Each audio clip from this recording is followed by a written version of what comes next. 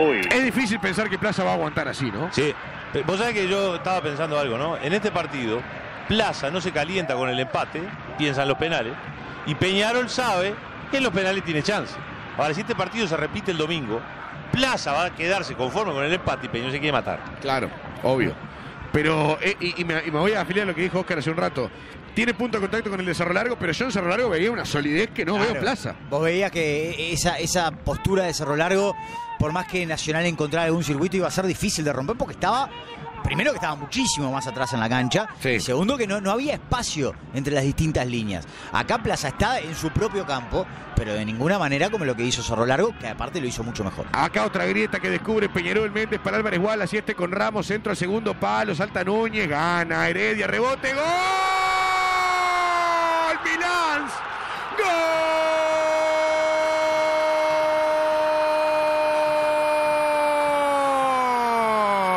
Gol.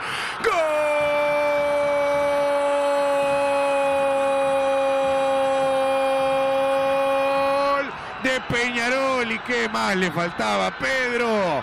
Qué golazo de Milán. Veníamos hablando de las grietas en la defensa de Plaza. La encontró Peñarol, centro de Ramos al segundo palo, sacó Heredia y en el rebote la agarró como venía con la zurda desde el vértice del área, la cruzó notable, fuerte, bien abajo. Imposible para Guirín, Pedro Milán.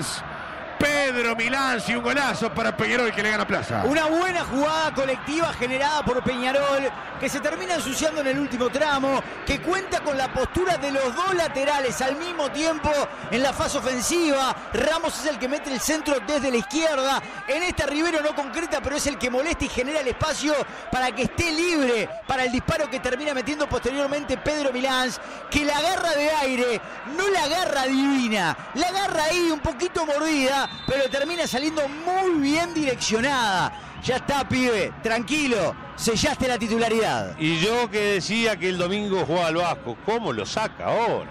Qué golazo que hizo realmente, porque además de todo, llegó a un lugar donde normalmente no se llega, por adentro, llegó a un lugar donde normalmente no se llega cuando el otro lateral está adelante, y aparte le pegó con la pierna que no, no es su pierna hábil, y termina metiéndola abajo contra el palo izquierdo, merecido gol para Peñarol, y recontra merecido gol para Milán.